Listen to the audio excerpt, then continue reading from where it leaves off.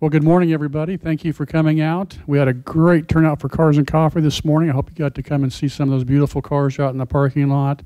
But anyway, thank you for joining us this morning for our Tread Talk. You know, last month, the Midwest Dream Car Collection hosted a First Responders Day with staff from the Manhattan Fire Department, Riley County EMS, and the Riley County Police Department present. They brought some amazing vehicles that museum guests were allowed to explore up and close, while first responders were available to answer their questions.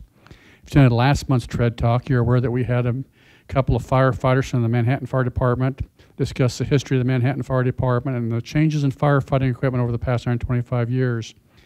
Today, we are honored to have as our speaker Corporal Joseph Ehrlich from the Riley County Police Department. Officer Ehrlich is going to speak to us this morning about accident reduction, exactly what that means, and how we can do our part to help. So let's please give him a warm welcome. Thanks for coming out this morning. I'm sure uh, at 11 o'clock on a Saturday, uh, there were better things on TV than me, but uh, thank you for your time. Uh, I'll, I'll, be honest, uh, I'm not a car guy, and I, I, don't listen to me pull away in the parking lot. My brakes need changed. It's not good. I, am not a technically precise guy when it comes to, uh, to engines and things like that, so I was having a hard time thinking of what exactly I would talk to you about for a, a tread talk. And I've been a cop for 16 years and some change, and I thought, well, the one thing I've done a lot with a car is pull them over. Um, so like, I could talk about that a little bit. Uh, and, and maybe some of the reasoning why we do what we do when it comes to traffic stops and some of our uh, philosophies and our programs that are built around traffic enforcement and why we do what we do. Uh, so I want to talk a little bit today about an accident reduction program we have. We call it ARC accident reduction citations, but uh, it's not all about writing tickets. So uh, I want to talk about that a little bit here and let you know kind of what we're doing and what that looks like and why we're doing what we're doing. All right, so what is it? Uh, every, it's no secret that hey, I work for the government. Uh, we have limited funding. It's mostly tied up in uh, personnel costs, and there's only so many police officers and so many places to be. So several years back, we started looking at how we could increase our enforcement, increase our presence without having to ask for even more money to get more cops out there on the street. Uh, and one of that is we've started relying really heavily on data. What do the numbers tell us about where we need to be and what we need to do with our time? Uh, so what that does is we, we can crunch the numbers on, say, collisions and say where are crashes happening, when are they happening, and what's causing them. And then we can focus our enforcement time on those things in those places at those times. Uh, along the way, if we're doing this and we're organizing and, and, and being deliberate about it, we can also work on how we present that information to people we pull over and explain to them why we're doing what we're doing. So it maybe isn't just so uh, mystical as to why I pulled you over for not using a turn signal or something like that at midnight. Uh, that you might have a better frame of reference for why we're doing what we're doing and maybe think it's a little more legitimate that we're doing what we're doing, if that makes sense. Uh, so the goal of this is by focusing our efforts in, in the right places at the right times, doing the right things, we can hopefully reduce collisions, reduce injuries and fatalities, and, uh, and make the place a little safer without uh, having to throw a lot more cops at the problem. So that's why we're doing what we're doing with this ARC program. It's, uh, it's numbers based. So the way we came about this information was uh, was pretty deliberate. We didn't want to just make it up or say what we think it is or anything like that. And we also didn't want to come at everybody with just a bunch of numbers and say, here's what we need to do for you because the numbers say so. We wanted to have something a little broader than that. So K-State teamed up with some of our command staff members several years back and they did a study uh, that looked at uh, not just what the numbers say about crashes, but what the community says about them. Uh, there's a lot of information that went into there. Some of it was about the way they perceive the police and how we interact with them on traffic stops. There was a lot of uh, a lot of back and forth with community members to make this study. But uh, one of the interesting findings out of what they put together was uh, when people were asked, members of the public were asked, what do they think the police should focus on when they're making traffic stops? What kind of things do you think cause crashes? They came up with a list of things. Uh, the top five are right up here. Incidentally, those go straight hand in hand with what we say cause crashes and what our data says cause crashes. So this is kind of a rare instance where uh, the people and the government are all on the same page with something. Yeah, you won't see that very often, right? Yeah, but here it is. So this is what we focus on. We call these our big five. These are the five things we really want to push and enforce. uh, and make stops for. Because these are the five things that you folks say you think we should stop people for it and enforce. And these are the five things that the data says cause crashes. So if we want to reduce them, we need to do something about them. Inattentive driving, the first one. Uh, there's the book definition and then there's the broad definition that all of us would think of. And so inattentive driving can, can actually uh, be a lot of things to a reasonable person. In the book, it's real specific. Uh, but inattentive driving, what's the biggest thing you guys can think of uh, when you think of inattentive driving causing crashes in this community? Cell phones, yeah, right there it is. Yeah, that's a separate rule, but that's what we're all thinking of is, is inattentive driving. So that's that's things like that. You're not paying attention. Your head's in the cloud. You're doing something else. We have so many distractions in our cars now uh, that that drives a lot of crashes. And the one thing most people won't tell you when they're involved in a crash and you say what happens is, I was on my cell phone texting when I hit the car in front of me. That's not what they say. Uh, but more on that. The other one, failure to yield and failure to stop. Uh, that's a pretty obvious one, right? Uh, when we, we roll the stop sign or we miss the stoplight, we weren't thinking, we weren't, we weren't looking. That one drives a huge amount of our crashes, and I think we can all agree that you should stop at stop signs and red lights. That's, that's reasonable. Uh, following too close or tailgating, that's another big one. And that's where the, I wasn't on my cell phone, I just ran into the car in front of me. That's where we'll catch that one a lot, and that's a lot of times what we end up stuck with is uh, most of us don't just plant the car into the one in front of us unless we were you know, not paying attention. And uh, the common thing that we're not paying attention to for the younger people, at least, is, uh, is the cell phone. But following too close is a big one. And uh, that one's kind of hard to enforce sometimes, too, right? Because it's somewhat, uh, somewhat subjective. Uh, we actually have some radar guns now that they're laser based and they do some really great stuff with, with, uh, with LiDAR lasers and, and they can give you really good speed. But we also have some that can photograph and track how much uh, following distance you've left the car in front of you. So when you hit the button, it can snapshot how close the car was following so that when you go to court, you can show it to the judge and everyone else. There was this much following distance, and here's a picture of it. So that's helped us out a lot with being able to uh, enforce following too close.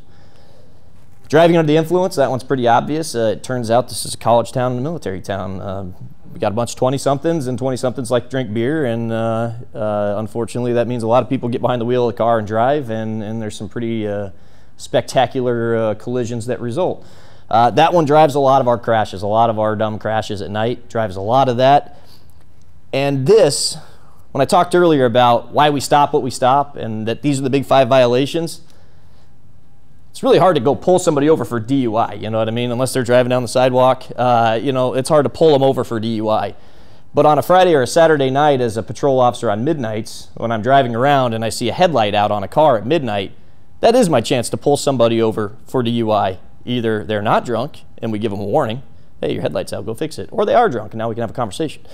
Uh, so when we talk about these arc stops and, and specific violations to get specific things, when it comes to DUI, if you get pulled over in the evening uh, or at night or in certain areas of town, that might be the reason you're being stopped for something relatively minor is we just want to have a conversation and see if if we're, we're good to be driving tonight because we want to drive that number down. We want to reduce the DUIs. I really don't care if your brake light is out. I want you to fix it. It's a, it's a violation of the rules, but it's not what I'm going to write you a ticket for. But I do care if you've had too much to drink, right? So that's why a lot of us are making stops like that that may seem petty. It's that I want to see if there's something else going on there uh, because we want to drive that number down because DUI injures and kills drivers in this city with some regularity. We want to, we want to knock that number down. And then speeding's the obvious one, right? And we're not talking going two or three over the speed limit. That's, there's, no one's going to stop you for that. We're talking like the 10 over and, and higher speeds uh, that we're, we're starting to get concerned about because speed, there is a direct correlation between how fast we're driving and how bad the crash is, and so bad, you know, how bad injuries can be and things like that. So these are the five things that we think uh, are worthy of uh, our time and that the community says are worthy of our time. So that's why we're pushing these. So how does it actually work for us? Uh, as I've said before, we have smart people who sit in an office with a computer. I'm not one of those. Uh, it took me about 15 minutes and two or three people's help to get this working. Uh, but uh, we do have a criminal intelligence unit. And these folks drive, they get all of our data. We keep everything that we do, every number that we generate, everything that happens is documented and stored somewhere. Uh, these poor folks, their job is to dig through all the numbers and all the things and make sense out of that, uh, with the goal of figuring out where we can send our limited number of cops, when we can send them there, and what they should be doing with their time. We do this for more than just traffic. We do this for things like burglaries, if cars are getting broken into. We track all that and we figure out what neighborhoods are getting hit hard, and then we set timers where on our call screen that we follow on our car, it says at this time you need to be at this place and just be there because the stats say it's likely to be a, a high crime time and a high crime place. We do the same thing with car crashes. They crunch the numbers for, say, the month or a previous couple weeks, and they say we've had the most car crashes in this general area, and they'll have hot spots around the county and say this is where accidents are likely to occur historically. And usually that means there's something design wise. Maybe there's a road issue there, it's a really congested area, something like that. But for whatever reason, accidents are concentrated in this one area. They'll then figure out what times they're likely to happen. Again, everything's tracked. So if we know that around noon on Tuesday, this part of town has a lot of car crashes, around noon on Tuesday, the officers on duty have a thing pop up on their computer in their car that says whoever the area officer is is going to that area right now at noon on Tuesday, and they're going to hang out there. They're going to look for those five things that I just uh, put on the screen and anything else and just be visible with the hope that by having an officer there who's visible, people slow down a little bit, they pay a little better attention in an area that we know we need them to pay better attention. And if they don't pay attention, well, then there's an officer there to remind them of why we should follow the rules. Uh, sometimes when you see an officer stop somewhere strange, you know, along the side of the road, uh, just kind of being there somewhere visible, maybe running radar, maybe not. A lot of times it's because they were told, whatever you're doing right now, as long as it's not a crime issue that you can't drop, you're going over here and you're hanging out because the numbers say we need to be there right now to slow people down. So that's how that side of it works. We're going to figure out where you need to be, send an officer there to, to be present and to, to take some enforcement action. And when they do make a stop under this program, if they're there on one of these ARC, we call them uh, areas, part of the way they do their traffic stop is a little bit different. It, it probably won't sound dramatically different, but generally speaking, they're going to tell you why they stopped you, like always. They're going to give you a chance to explain why whatever happened happened. You know, uh, sometimes there's a good reason for why we do uh, do things that, that get the police involved in our lives, right?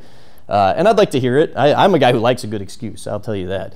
Uh, that that can work on me. Sometimes they're really good. Sometimes they're really entertaining. And either way, I'll, I'll like to hear them. Uh, but yeah, we want to hear what your side of the story is. Why why things are happening the way they are. Give you a chance to explain to me. Uh, the additional thing that we've added with this ARC program is we try to explain to you why we just made the stop that we made. Because again, at 10:30 at night, if I'm driving home from work and I get pulled over because I had a brake light out, like I don't know my brake light's out. I know that's not the crime of the century. I don't think anybody really cares. So why are you wasting your time pulling me over? Well, if I explain to you that, hey, you know, this is a high accident area, uh, we are making stops on certain uh, violations because we're concerned about, you know, reducing collisions one of the biggest drivers of collisions is DUI, and by making this stop, it gives me a chance to talk to you and make sure that you're sober and good to drive. And since you are, I'll write you a warning and have you on your way. Uh, it's an opportunity for us to educate the public a little bit, not just about the law, but about why we're enforcing it the way that we are, and hopefully get a little bit of credibility from people uh, and not have them feel like we're just out there picking on you or uh, you know it's because I'm whatever or it's because of this or it's it's some other factor. It's I'm stopping you because we want to reduce accidents. These are the five things that cause them.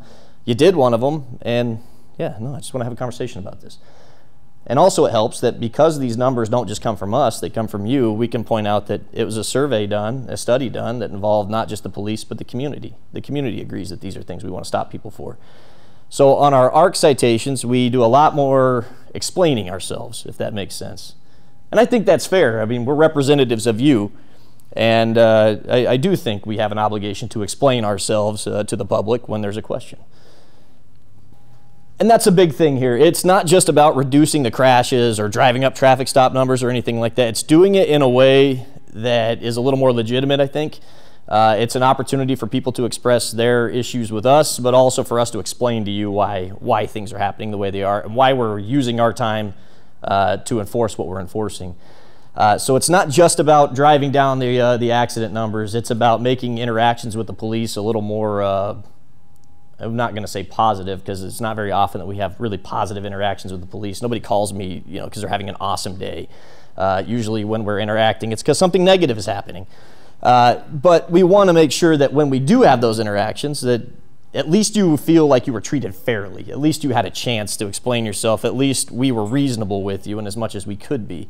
And so this kind of permeates a lot of what we do now across the board, but this is how we're trying to incorporate that into our traffic stops, which is something we do with a lot of a lot of volume, right? It's one of the most common interactions you'll have with the police in your life. Um, and so if that's the limited amount of time you ever talk to the police, then we should probably make sure that we're using that time in a, in a reasonable way. So I kept it fairly brief on this because I figured there'd be questions not just about this, but about you know, traffic law in general. Because, like I said, it turns out that's the one place most of us will contact the police is in a car stop. It's the one place that uh, you can't really avoid us. If you drive long enough, inevitably the police are going to pull you over for something. Again, I don't know my tail lights out. I don't know that uh, my headlights out. I went just a little too fast in a place where I didn't see the speed limit sign. Uh, so I figured people would have a lot of questions about rules and about the why we do things the way we do things, and I wanted to leave plenty of time to talk to you about those things. Uh, the the ARC program that we talked about here, it, I, I, think there's really some validity to it. Uh, you know, there was obviously a, a, horrible crash that occurred out here not too long back, right outside of this place. Ironically, right after that crash occurred, on the call screen came up this area this time we need an officer over here because statistically that's a high volume crash area. Far from the only time I've seen that happen. So the point of that being the data works. It really does. It tells us what we need to know about it. And uh, I, I, think that it, it does pay off for us to do these kinds of things. And I wanted to make sure you understood why we do it. And also, if you do see an officer sitting somewhere on the side of the road, it's not just because they're being lazy, although sometimes maybe they are. Uh, but most of the time, it's because they're trying to, to be in the right place at the right time and help reduce these crashes.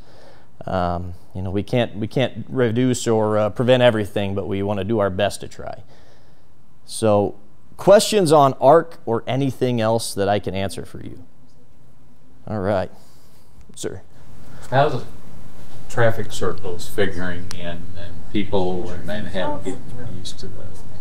Okay. Yeah. So, question is about traffic circles. Uh, are they helping, and uh, are people figuring them out? Um, well, that's relative. Uh, so, I, I, guess I would look at it this way. Uh, I think about uh, like the Fourth and Bluemont area the most. Um, I'm sure y'all are familiar with how it used to be and the way it is now. Uh, if you wanted to turn left from Fourth Street onto Bluemont at three in the afternoon, uh, about 50 people behind you are going to want to rip you out of the car and, and tell you to turn somewhere else, right? Uh, it really backed up traffic, and then people would sit for a really long time, and then they'd get impatient, and then they would just go. And so that drove a whole lot of crashes. In the early days, we had something called Impact Zone before we had the ARC system and some other initiatives we had. And Impact Zone basically said that northeast side of town, all of our crashes, most of our crime, everything's going on there. Just go out there and do every cop thing you can think of in this area. Turns out if you lived in that part of town, that was not very exciting. Uh, you didn't want to be there. You couldn't drive anywhere without the cops bothering you. So we got rid of that. But that Fourth and Bluemont area, that was one that constantly driving uh, collisions and traffic violations because people just do stupid stuff to try to get out into the road.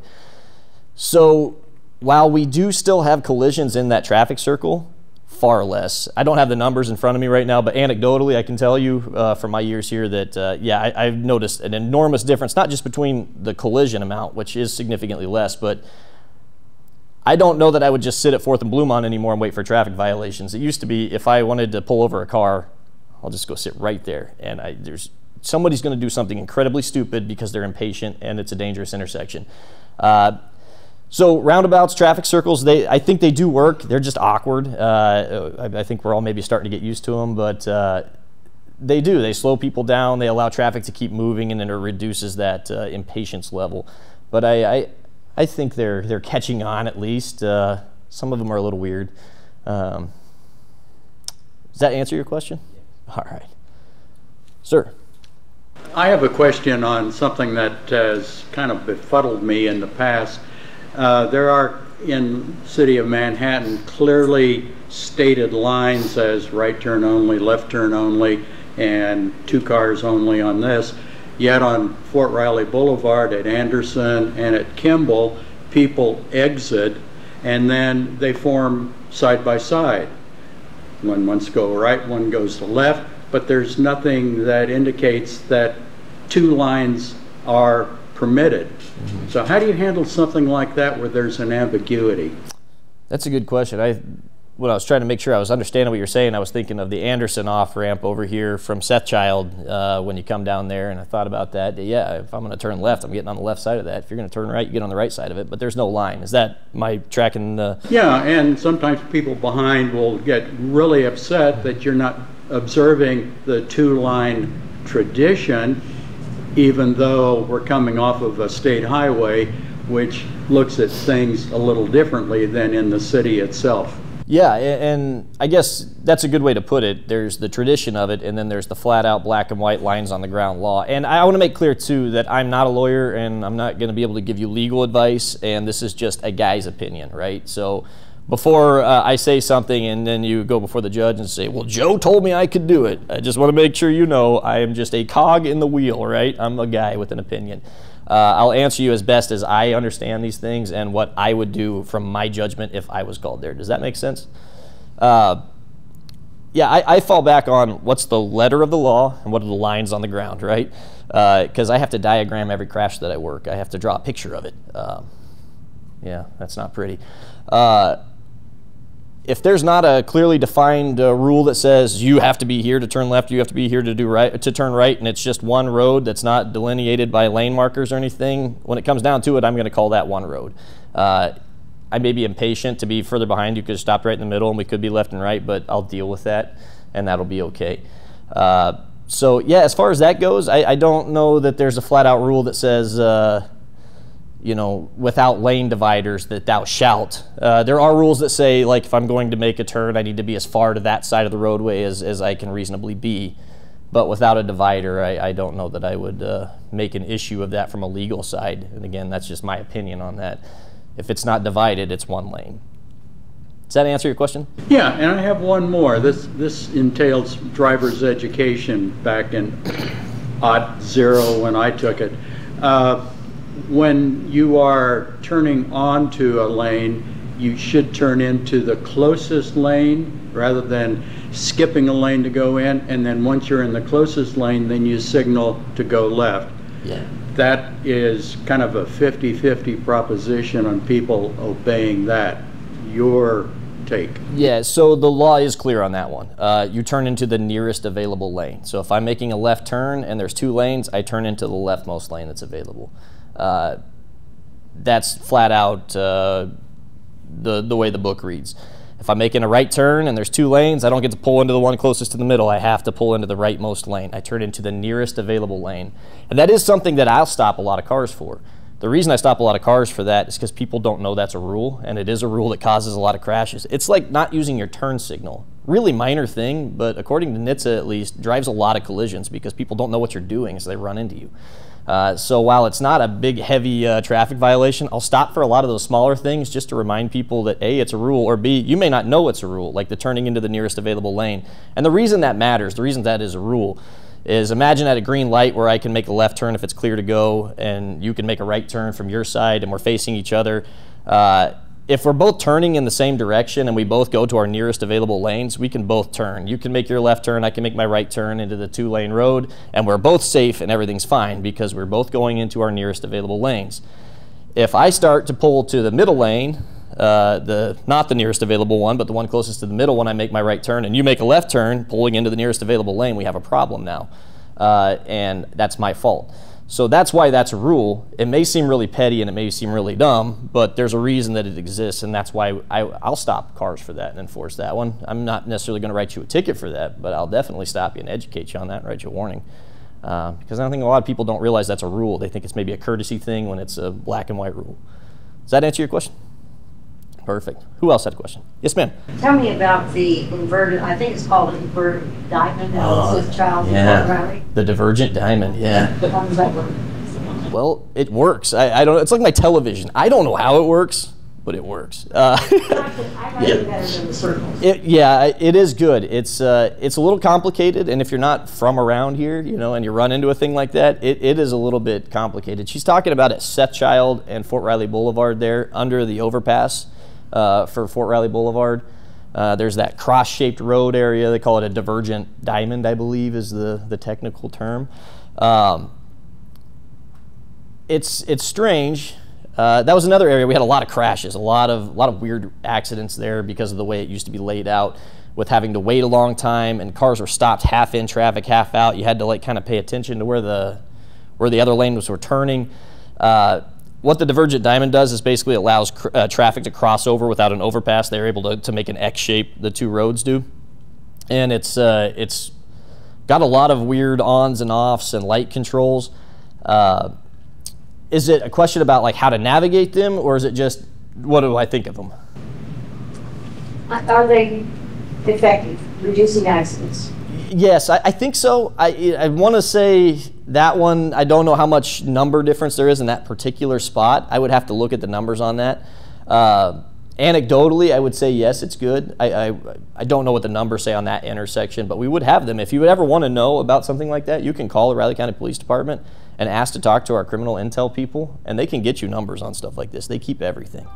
Um, and those are your numbers, you know. Um, so if you do have those questions, you can ask and, and see what they can help you out with on that. If, if you want the hard facts, I, I do think yeah, it definitely reduces the stress of that spot once you know how to navigate it.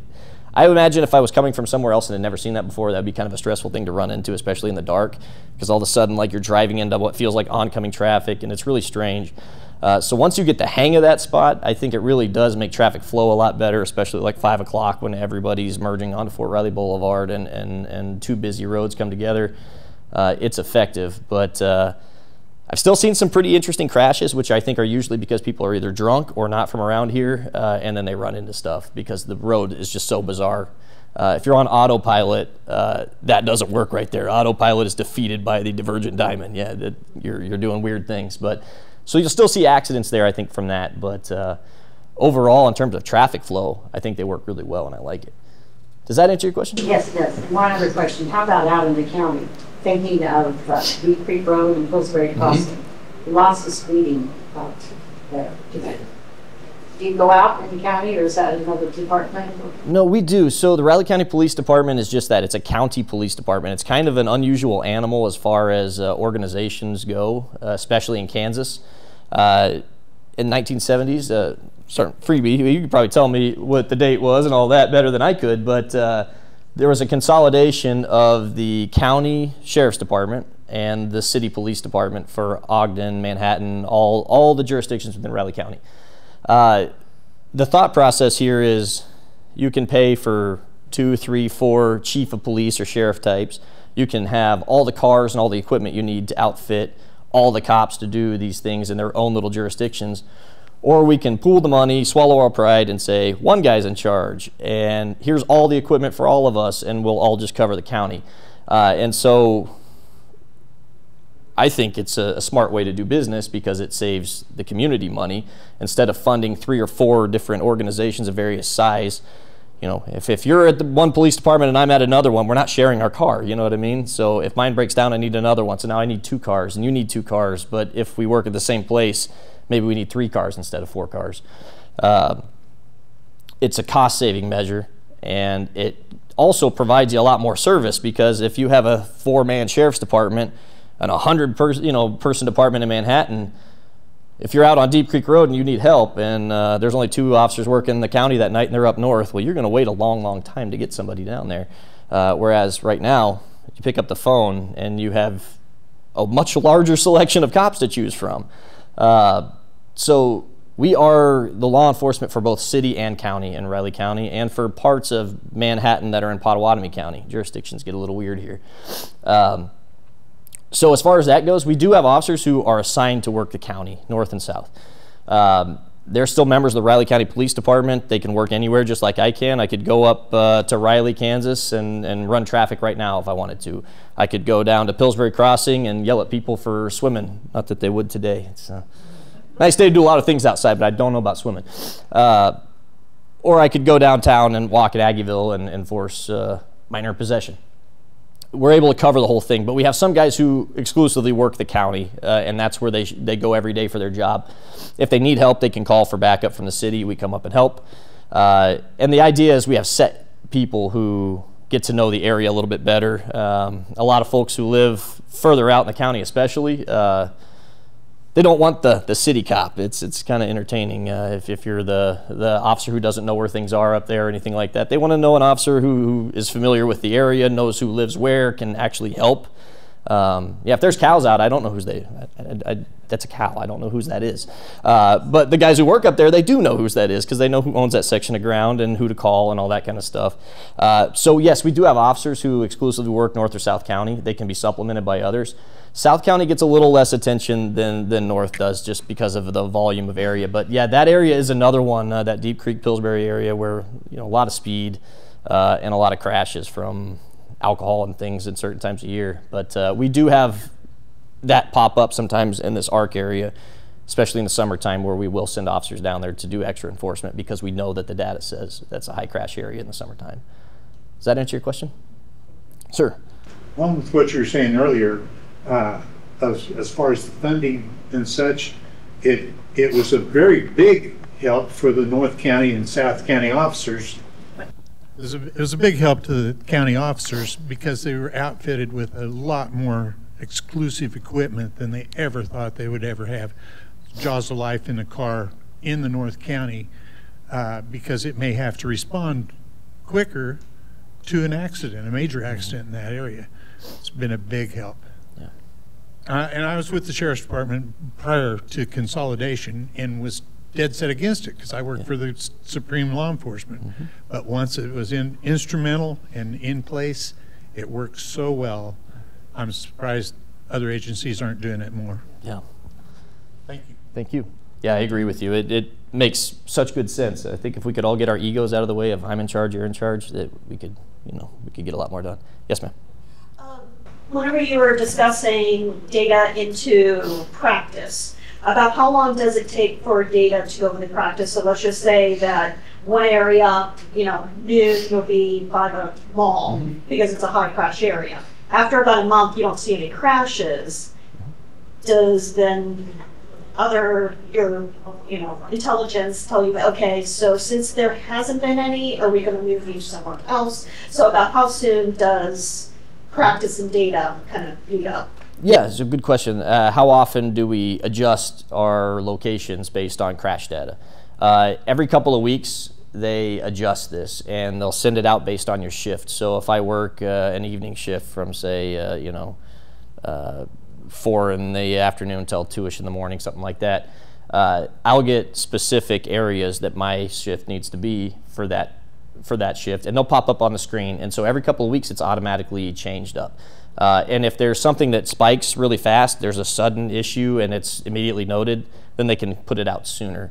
If an area goes dormant, like nothing happens here, and sometimes we do have that, I won't call it a problem because it's not a problem. Our crime rates are really low uh, compared to national averages. Um, and that's a good thing, but it kind of makes the number crunchers bored sometimes because it's hard to say there's a trend when you don't have a lot of things to track. Like we had two. Is that a trend or is that just two things happened? You know what I mean? So sometimes we, we have the issue of not having enough data. And so sometimes we'll stay in an area a little longer because there's no data that says to change it. Uh, but yeah, we do follow the numbers every couple of weeks, at least once a month. Uh, it changes up depending on those numbers. So we, we try to stay on top of that. Sir. I have a kind of an unrelated question, but still driving safety. Road rage seems to be on an uptick. And I remember when I first started driving, road rage was obvious too, but it was a four-letter word or an inappropriate hand signal. Now it's gone to people pulling guns, hitting cars, breaking windshields. What is the best way to handle a situation like that if you get involved in something like that? Yeah, uh, so the question is, what should we do with road rage uh, if, if you're involved in a situation where you're trying to get away from somebody? Uh, and again, this is just one guy's opinion, but uh, avoiding the confrontation is probably the biggest thing. If somebody's looking for a fight and you're not don't give them the opportunity to have it. All right, we're mobile right now. We can we can avoid it. Uh, there are rules against using your cell phone when you're driving, right? We all know that. In Manhattan, we shouldn't talk on the phone when we drive. Uh, there are exceptions to that, like if there's an emergency, uh, use your phone. Uh, so number one is to call us as soon as you can. Is if you can safely use your phone while driving, call us ASAP. Stay on the line. That's the big thing too. Is uh, a lot of folks will call the police and say, "I need help," and they'll say something and they'll hang up the phone. Stay on the line so that we can figure out where you are and update so that we can find you. Because if you tell us where you were two minutes ago or five minutes ago, it's going to be really hard for me to find you because you're moving. So stay on the line, let us know where you are, and keep us updated with what's happening and where you are. If you don't know the street names, that's fine. Don't crash your car trying to check. Just give us landmarks or generally the direction you're going or something, and we'll, we'll catch up to you. Uh, describe the vehicle, describe the driver, describe everything you can to us so that if they drive off before we get there, we can still have a chance of finding them. Uh, go to a public place where you know that you're, you know, a lot of people, cameras, things like that. You can drive to the police department. You can drive to, you know, uh, the kind of box stores that have good cameras and things like that. Uh, with the idea being that if there's more people around, hopefully somebody doesn't stop and uh, get out and you know try to fight you in front of 50 people. That's not a very smart move from uh, you know self-preservation standpoint. If you want to stay out of jail, uh, if there's a weapon involved or something like that, then yeah, I mean you, you have a right to. We still have to drive with due regard, right? We, we still have to be reasonable. We're not going to endanger other people, but there are some times when I think reasonably, if you need to speed to get away or do something like that, I'm not telling you to go blow the doors off of things or to drive unsafely, but uh, if you're worried about driving 60 miles an hour in a 55 in that sort of situation where somebody has a gun out, I'm not as worried about that as long as you're safe. Um, I guess the point being, avoid the confrontation however you can. If that means we pull over, if they pull over, drive away, whatever. Don't don't have that conversation. Uh, don't don't get out of the car. Don't give them the opportunity to do those things. Uh, lock the doors. Call the police. Go somewhere public. Uh, try to avoid the confrontation. That's the biggest thing. And sometimes they're unavoidable. I've seen instances where it's unavoidable, where people will follow anywhere and do anything. Um, lock the door, stay in the car, stay on the phone, yell for help, do whatever, but go to those public places and, and, try to at least be on video and at least be where other people can find you. It's kind of a vague answer, I guess, because it's there's so many variables involved in that. Because um, I know what you're saying. There there is that uptick now of it's like uh, they don't pull over and threaten to fight you. It's somebody waves a gun at you through the window. Uh, we we do see that. Um, and that's that's a really tough one to try to advise you on. I don't want you to pull over if he's got a gun, you know, and he wants you to stop. But it's I, I can't tell you what the right move is in the right place, other than to notify us and just stay the heck away from anybody who's that crazy. Don't hurt anybody else uh, in the attempt to do it, but it, we're reasonable people, and the courts are reasonable. That's their their mandate is to be reasonable, and uh, I, I'm not worried about speeds or things like that, I guess, in that moment if you need to get away from somebody as long as you're not endangering somebody else. Does that in any way answer your question? Are there laws so someone waves a gun at you or something, you get a video, or is there law against something like threatening you for? Oh, absolutely, yeah. So aggravated assault, uh, that is uh, putting somebody in reasonable apprehension of great bodily harm. That's, that's the letter of the law, that's what it says.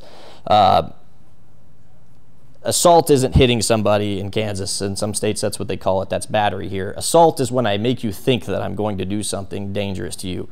Uh, like a simple assault would be if I cock my fist back and, and act like I'm going to punch you in the face and you think that I'm actually going to hurt you. That's, that's a misdemeanor assault. An aggravated assault would be if I say pull a knife and threaten you with it or something like that. I don't have to touch you with it, but just the reasonable person seeing that and saying, I thought I was going to get stabbed or yeah, he whipped a gun out and waved it at me while I was driving as he was yelling. I thought he was going to shoot me. Yeah, that's that's a violation. That's a felony. That's uh, that's a big deal. And so that's why we do want to know. Describe the person. Uh, describe the car. Uh, and having a description of the person is really helpful too, whatever you can give us, because obviously a car can be driven by anybody, but it's really helpful if you describe a person who you know, also happens to look exactly like the person who's a registered owner or driver of that car. Uh, so the more information you can give us, the better. But that is a serious felony offense, and we will take that and investigate that yeah, we do take that seriously. Yes, ma'am.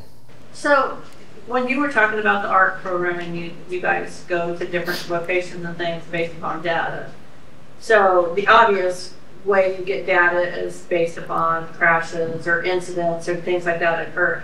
Do you use other resources for that data, like Facebook reports? Like, I mean, some, you know, because social media is a big thing now, people are always putting things on. Is there somebody doing that kind of reading some of those things that are stated and going off of that? Yeah, so the question is do we do things other than just look at the numbers when we decide where to, to go for accident reduction? Uh, the answer is yes, we do other things. Uh, through our social media and some website options, you can uh, talk to us about things that are bugging you uh, on the website.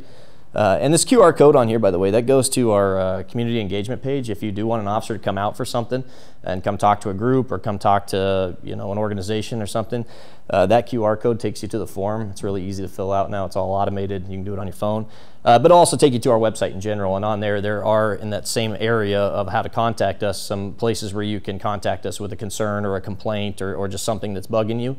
And then our public information officer reviews all of those things and then assigns those out. So if you call in with a traffic concern, that will get read and then sent to our patrol division, and then the patrol commander will assign that out to a shift. Um, so if there's an area that we're getting complaints about, he can say, hey, I want this squad to go out there and send somebody to that neighborhood at that time and go deal with that. But it's more, so then it's really more the public's responsibility to kind of get it to you guys. You guys have somebody who goes to these other avenues at all? Well, so actually starting September, uh, we've initiated a new community engagement program that's based on uh, starting out with just Manhattan at the moment. It's kind of a pilot thing. We just started it. Um, the city is divided up into areas, and uh, we have a corporal assigned to each area. And so, in the next couple of weeks, we're going to be rolling out some more stuff uh, publicly. And the goal being that if you are living, working, or in an area of town, you know who your contact point is if you do have these kind of issues, and you can start to build some kind of relationship. Like if memory serves, uh, Corporal Jason Hubbard is the southwest part uh, of town. Uh, he's the corporal assigned to this area. So uh, he's out of town right now. Otherwise, I would have brought him uh, with me to do this because I want him to meet you guys and start being a good point of contact for you. Uh, that's something we're going to roll out citywide here. Uh, it just started, and the goal being that you have a central point instead of uh, you know always going and getting random people. That you would at least have a, a common voice uh, that you could speak to on those issues, but the goal being ultimately to have some community-based meetings uh, in those areas with that corporal so that if you live in the northwest part of town or the southwest part of town, uh, we can publicize when we're having a community meeting for that area. You can show up, you can talk to that uh, corporal and some other members of the department who are there, and you can express concerns or talk about whatever you want to talk about. Um, and so that's that's something we're phasing in as we go right now. We're, we're really trying to pump up our uh, our engagement with with you folks. That's why I'm here today. That's why I'm putting that QR code up there because if there is a group uh, that you think we should come talk to, or if there is some kind of event that we can attend and uh, and be available to you, we would like to do that. Um, so don't hesitate to contact us. We work for you. Does that answer your question? Yeah, I just you know yeah, my, and I and I it does answer my question. I just wondered about like because you know like especially with younger people they're not going to be so apt to contact you guys I mean, Right. it's just that image thing that's whatever so that's why i'm wondering you know but they'll post something on social media thing or they'll say something and it's like how do you, you know, get that Yeah, uh, we have a public information officer who, who keeps an eye on not just our own communications, but communications community wide that might be relevant to us. Uh, you know, a lot of times they're aware of what's being said out there on the internet. Um, it's a lot of times limits on what we can say in response. We may know that this is bad data floating around, but you know, we're not going to get involved in saying what is or what isn't, and, and you know, there's a lot of privacy issues that go into that. Uh, but they do stay on top of, of what's being said, and, and they can address things that become community concerns before they, you know, get any bigger. Uh, and if there is some kind of common issue with traffic that everyone's talking about, uh, our, our public information officer will, will be aware of that and can send that up through our chain also. i had just read something just i think it's either yesterday or the day before about there's this suv that's in town that's trying to play chicken with people have you heard that at all I have not. No. Um, I just wondered like how legit it is and like whatever. yeah, I couldn't speak to that, and unfortunately, I spend most of my time. I reside at a desk now, and uh, I, I conduct training. Um, that's temporary, thankfully, but yeah, uh, yeah. No, I, I'm not cool. Uh, I, I sit I sit in a in a desk most of the time now, so I'm, I'm not as plugged into some of this stuff as others might be. But I'm not aware of that particular issue. If you do see something like that, please call us though. And again, as good a description as you can get, tag number, uh, driver description, all that good stuff. Uh, we would like to know about that. So. Yes, ma'am. So if you wanted to talk to someone about traffic around your area that you live in, we come to the demo we're talking about, Say that again at the last part. talk to Joe if you're talking about, Yeah. do need to talk to the? Well, if you call the police department, and here's the other thing anytime, if you have any kind of issue that's remotely police related and you're not sure who to call, just call our dispatch at the non emergency number. Um, it's up there, that 785 537 2112. Anytime, day or night, you can call that number if it's a non emergency. And you can tell them, hey, I've got questions about traffic or I've got a concern about traffic. And they will hook you up with a police officer who will call you back or come out to your house, whichever you prefer. And they'll talk to you about any of those issues right then, and then they can send it forward. What we're going to do ultimately here is push out some more information about our area uh, corporals and their community engagement programs. And then ideally they'll have you'll have a point of contact for just that area if you want to. But until that becomes more publicly uh, available to you uh, don't hesitate to call us or to go to our website if, if that's preferable to you and you can use the uh, citizen concern uh, or comment section and you can write to us about it or you can just call us and, and tell us about it uh, and we're happy to hear from you. And again, anytime, day or night. If you wake up at 2 in the morning and you're bored and uh, it's bothering you right then, call us because chances are I'm out there at 2 in the morning and I'm bored too, and I would love to hear from you. So, uh, Motorcycle going by my house at 2 a.m. and things like that. yes, yes, they'll do that. And, you know, if that is an ongoing issue, uh, we would like to know if the street racing stuff's going on and it's bothering y'all, we want to know. Um, uh, it's, yes, ma'am. Yes, sir. I guess a final question. Um, And you mentioned the street racing, but you're talking to a bunch of car guys Yeah. here, and sometimes we may be overzealous in our customization. Sure. Loud versus no uh, muffler at all, maybe deep tinted windows, obscured vision with all the stuff hanging off the rear view mirror. Mm-hmm. Now, don't look at my convertible out there because I've got fuzzy dice there. Absolutely. Yeah. It's a What requirement, are, I thought. what are yeah. the rules generally that you look for, and then, uh, you know, what are the, some of the problems? Yeah, uh, and so this is again Joe's opinion. I, I'm, I'm a firm believer in uh, you know your rights end where mine begin. Um, I, I frankly don't care if your car is noisy unless you're revving the engine at 10 o'clock at night outside my neighborhood. Then I do care. Uh, if you're driving down I-70 and your car is loud, cool. I don't I don't mind. It doesn't hurt anybody. You know. Um,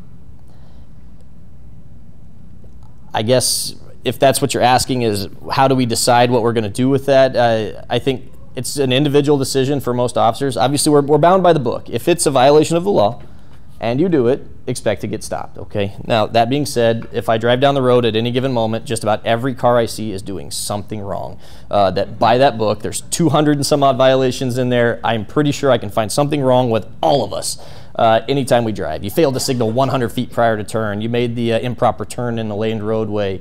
Uh, you know, your driver's side mirror isn't working. You have a crack in your windshield. It's not hard to find something. So we, we try to be reasonable about how we how we utilize that.